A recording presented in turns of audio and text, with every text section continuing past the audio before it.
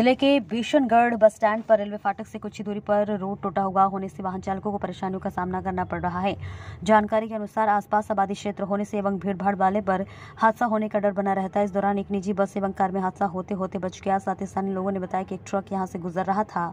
ठीक उसी टूटी हुई रोड पर पहुँचने ही भयंकर आवाज़ के साथ उसका पेंछे वाला टायर फट गया और रोड से कुछ ही दूरी पर खड़ी एक मार्शल जीप का कांच भी टूट गया और स्थानीय लोगों ने बताया कि यह रोड टूटा हुआ होने पर हर बार हादसे होते रहते हैं, लेकिन अब तक यह रोड ठीक नहीं हुआ है। रोड बनेगी तो आमजन को एवं वाहन चालकों को इससे राहत मिलेगी।